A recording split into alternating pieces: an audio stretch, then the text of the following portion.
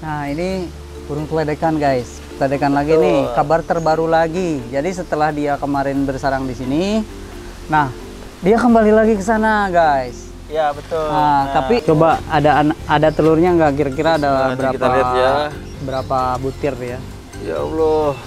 Bismillahirrahmanirrahim. Kita lihat nih. Wih, Ada ada kelihatan tuh. Wih, ada, ada, ada, ada. ada turunnya nih. Tuh. Itu satu butir ya.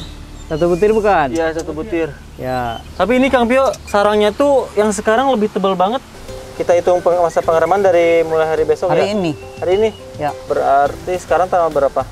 Tanggal lima- 15 ya. 15, 16, 17.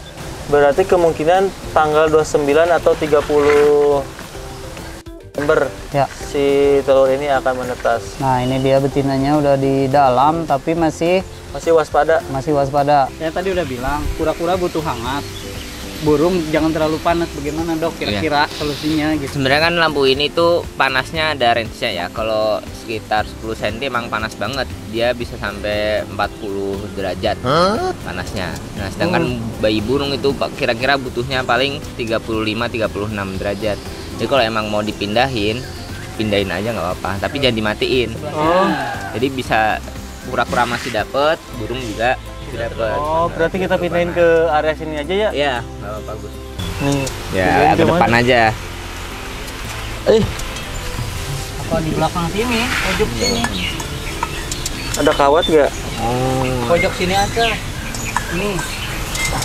Ini kan nggak pada nyala. Ini ini.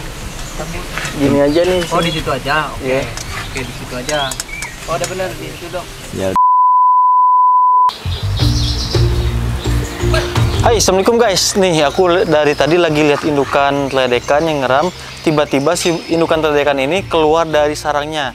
Nah, ini udah hari kelima sejak pemantauan pertama nih kira-kira telurnya bertambah atau enggak. Nih kita langsung cek aja ya. Nah guys, ini indukannya tuh lagi keluar tuh. Ini indukan betina dan jantan ada di atas. Nah. oh ini dua-duanya ada di bawah. Ini indukan jantan.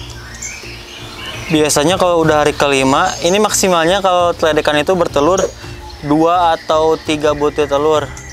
Nah, sekarang kita langsung patah aja si sarangnya, mumpung si indukannya lagi ada di luar. Oke guys, nih mumpung indukannya keluar dari sarang. Nah, ini ada indukan betinanya di kabel. Ini kita langsung cek ya. Ini kira-kira telurnya udah bertambah atau belum? Maaf ya, pura-pura. Bismillahirrahmanirrahim. Eh, nyerang. Wah. Wah.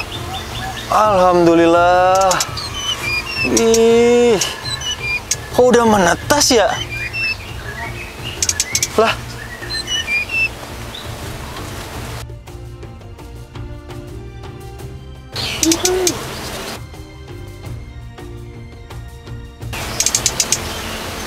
Nah berarti gimana Gus? Ini kan baru hari kelima. Waduh, bentar guys.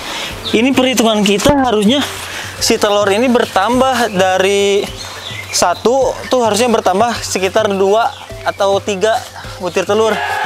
Nah tiba-tiba barusan pas kita lihat si sarangnya tuh tiba-tiba udah ada anaknya. Wah berarti perhitungan kita selama ini si telekan ini udah bertelur dari hari-hari sebelumnya. Berarti benar, ini anaknya cuma satu ekor. Jadi sebetulnya si telekan ini udah mengeram di hari ke sekarang udah hari kelima berarti nah yang telur satu itu perkiraan sudah usianya hari kelima. Nah sekarang hari hari kelima selanjutnya si telurnya udah menetas. Perkiraan ini menetasnya udah dua atau tiga hari karena si anakannya udah agak sedikit besar ini nah jadi si teledekan ini generasi ketiga dari indukan betina yang baru Sebetulnya tadi kita akan melakukan pengecekan jumlah telur ya setelah kemarin pemantauan telur teledekan ini, tapi kita malah mendapatkan sesuatu yang berbeda, berita yang baru. Ternyata si teledekan ini telurnya malah sudah menetas. Ya Allah.